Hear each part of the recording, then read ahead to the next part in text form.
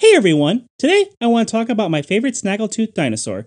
It's called the Dilophosaurus, a notorious predator from the early Jurassic, who, let's just say, has had its fair share of monster movie magic. Okay, Napkin, you can stop right there. I've already heard all about how the Jurassic Park franchise completely fabricated that fabulous neck frill, as well as the Dilophosaurus' ability to spit poison at its prey. I know. This video isn't about the mistakes made in Jurassic Park. Believe it or not, Hollywood isn't the only one who's taken some creative licensing with Dilophosaurus. Over the years, paleontologists have also had to make some educated assumptions, and it should come to no surprise that many of those initial assumptions are now outdated. Thankfully, science isn't stagnant, and our friend here was recently reevaluated, and it's completely changed what we know about this animal. So today, we're taking a look at the history of Dilophosaurus and discovering where we got it wrong. Don't forget to hit that like button, and let's dive into this. The year is 1942, and all eyes are on Europe. Wait, that can't be right. Nothing important could have possibly going on in Europe in the 1940s. No, no. The place to be was Arizona, where paleontologist Charles Camp has just discovered a large theropod dinosaur in an area known as the Kayenta Formation. The animal appears to be 7 meters in length and 2 meters in height. Only, there are a few problems. For starters, there's not one skeleton, there's three. And they weren't discovered by Camp. They were discovered two years earlier by a Navajo man named Jesse Williams.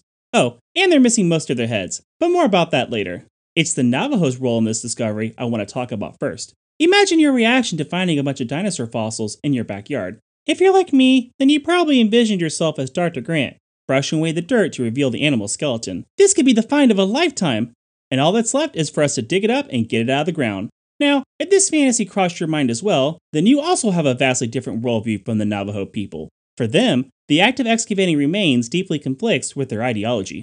According to the Navajo creation story, the Dene Bahane, I am so sorry if I butchered that name, the world used to be filled with large monsters who terrorized people wherever they went. Eventually, the monsters were slain and their bodies were buried beneath the earth. The remains of these creatures are sacred to the culture of the Navajo, and they play an important role in some of their rituals.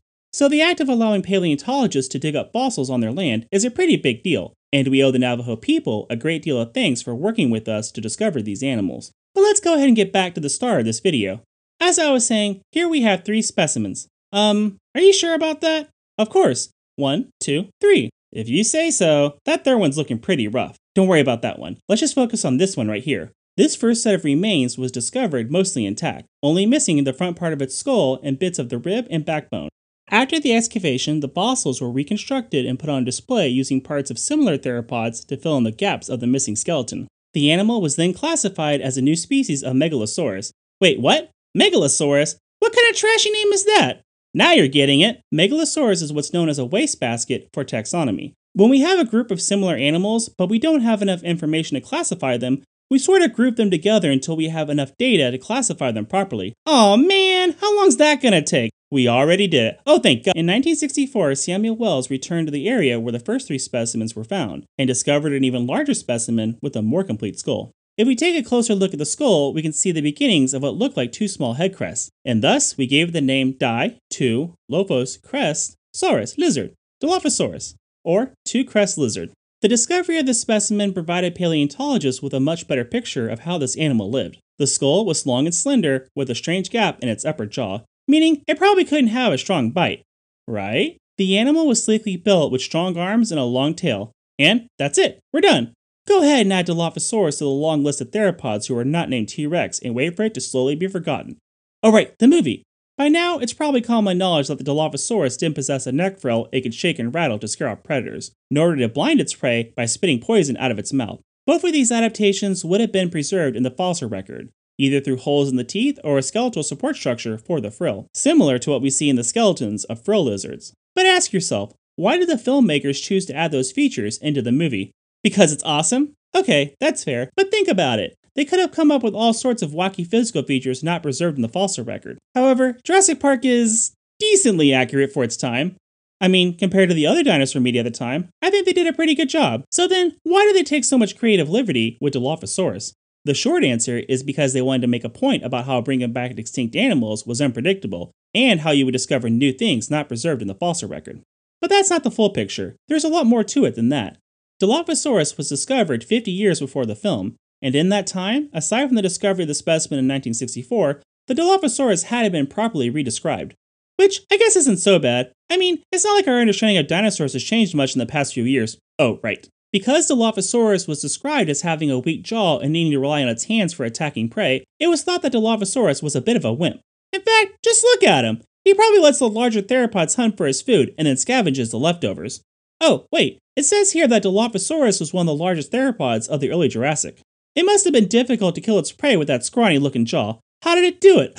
Maybe it used the poison! Of course not. As I've already stated, this is a complete fabrication, but the image of Dilophosaurus as this long, lanky hunter with a weak jaw and two crests on its head is what led the filmmakers to take those creative leaps. Hmm, you know what? With all this newfound interest in Dilophosaurus, maybe it's time to give this animal a fresh look.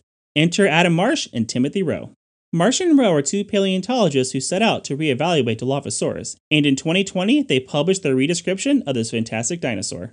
Now, I know what some of you are thinking. A dinosaur discovered in the 1940s is getting a second look? Let me guess, it's stronger and faster than we originally thought. And you're right. One of the first things that Marsh and Rowe noticed was that the muscle attachment for the lower jaw was larger than previously thought, meaning Dilophosaurus was quite the muncher. Speaking of munching, let's get to the meat and potatoes. If you're like me, when you think of Dilophosaurus, you imagine it looking something like this a medium sized theropod with two symmetric crests resting on the top of its head. These crests give it that distinctive look we all know and love. But since we're giving this dinosaur a second look, we should probably look at other skulls to get a better idea of what these actually look like. Hold on, let me find a better skull. There has to be one lying around here somewhere. Very funny. Seriously though, I need the most pristine Dilophosaurus skull we have. Really? That's the best we've got? So, wait a minute. How do we know its crest actually look like this? We don't. For all we know, the crest on Dilophosaurus could have looked something like this. Or maybe prefer something a little more to the point. The truth is, we don't really have a great understanding of what these crests actually look like which, in my opinion, makes some of these more common designs a bit unimaginative. In fact, this is the perfect area for speculation, and I wish filmmakers would get a bit more creative with them. On top of that, it's reasonable to assume that these crests were probably covered in a layer of keratin. So, why not? Give Dilophosaurus some extra flair, because then we would end up with dinosaurs that look like this? I kinda like it. But I see your point. Since keratin doesn't preserve as well as bone, trying to recreate that is mostly guesswork, and we all know how well that turns out. Now, I'll let you in on a little secret. Part of me wants to believe that these crests were not covered in any keratin at all. Why is that? Because we've discovered something really interesting about the crest of these animals. But to see what that is, we'll need to flip the fossil over. When we take a look at the interior side of the crest, we can see that there are several divots along the interior side. This means that the crest on Dilophosaurus might have contained air sacs. Air sacs? Oh, right. You humans don't have those. Air sacs play a vital role in the respiratory system of birds, crocs, and dinosaurs. And as you'll soon see, it's a much better system. Go ahead and take a deep breath. As you do this, you can feel your lungs filling up with air. This is important because, holy cow, you can exhale! Sorry about that. Now, when your lungs are filled with air, your body pulls in oxygen. This process fuels your body and plays a direct role in how much energy you can use. Now, you know what happens when you exhale all that air? I'll tell you what doesn't happen. Your lungs aren't being supplied with fresh oxygen, that's for sure. But of course not. After all, we have to exhale. We can't just leave all that carbon dioxide in there.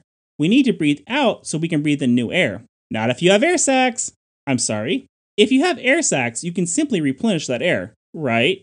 Isn't that exactly how lungs work? Not exactly, but maybe it'll make more sense if I draw it out. On the left, we have a healthy set of lungs. When we breathe in, air enters the lungs and oxygen is pulled from the air. Then, when you breathe out, your lungs empty until you breathe in again. Now compare that to a respiratory system of an animal with air sacs. When they breathe in, that air doesn't go into the lungs. Instead, the air enters an air sac. Then, when they exhale, that air leaves the air sac and enters, let's just call these lungs. Then, when they inhale again, instead of leaving the lungs and going back the way it came, the air enters a posterior air sac. Finally, when they exhale a second time, the air is removed from the body. Wow, napkin. I thought you said this system was better. That sounds like a lot of extra steps compared to just breathing in and out. How is that four step monstrosity a better system? Because each step is happening at the same time. Let's look at both these systems again, but this time we'll show what's happening as these animals breathe in and out. You see how the mammalian system is in and out, while the air sac system allows for a continuous supply of oxygen to the body? This system provides the body with more energy and almost certainly played a crucial role in the rise of dinosaurs. But let's get back to those crests. I mentioned earlier that I would love it if we could say for certain that these crests didn't contain a layer of keratin over them. Why did I say that? Well, not having a layer of keratin over them would allow the crest to expand and contract, similar to how a prairie chicken puffs out their chest as part of its mating ritual. I love this idea. How cool would it be to have a dinosaur with an inflatable crest it could puff in and out on top of its head? I can't think of any other animal that does that. Hmm, I can't think of any other animal that does that. I guess that is kind of a bit of a red flag. Not to mention, we do have modern birds with crests, such as the cassowary, and their crests are covered with a thick layer of keratin. I hadn't thought about that. I guess having an airbag on top of your head might pose some issues.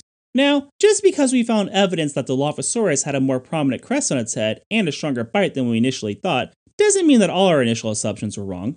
I mentioned earlier that one of our first impressions of Dilophosaurus was that it must have relied on its arms for taking down its prey.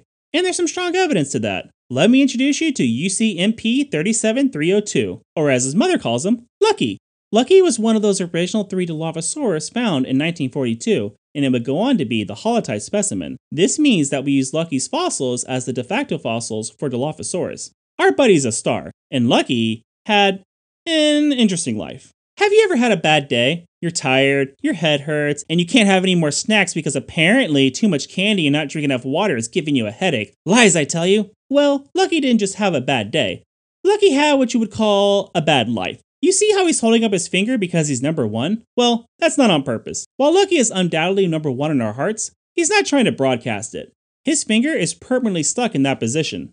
In addition to his finger, his right forearm was also stuck at a weird angle meaning he couldn't bring his right arm to his chest like this. Wow, now I feel really bad about earlier. Thankfully, Lucky did have a good arm. His right arm was. Wait, what? Didn't we just talk about the right arm? If that's his good arm, then what's going on with the other one? The left arm had several fractures one on the claw, one on the forearm, and one on the shoulder. In addition to the fractures, the left arm also had several puncture wounds that were likely received from another animal, possibly another Dilophosaurus. But don't worry, Lucky survived all these wounds. Oh, thank God. We know this because some of the wounds wound up infected. Why? Did I mention the animal also had tumors and possibly bone cancer? Anything else? Oh, because the specimen is half the size of the one we found in 1964, we believe Lucky also died while he was still a juvenile. Okay, maybe my day isn't so bad after all. Tell me about it. Lucky sure had a rough life. But it makes you wonder if Lucky wasn't able to use both its arms and it had so many injuries, how did it survive as long as it did? Well, paleontologists have an interesting hypothesis on this, and I think it explains just how this animal was able to survive as long as it did. You see, Lucky wasn't the only dinosaur to sustain injuries that made it difficult to hunt. Another famous theropod also managed to survive despite having a seemingly life threatening injury. But unfortunately, we're out of time, so I guess we'll have to leave the tale of my favorite T Rex for another video. Until then, I want to thank you all for watching. If you enjoyed this video and want to see more, please subscribe to my channel and don't forget to bring snacks.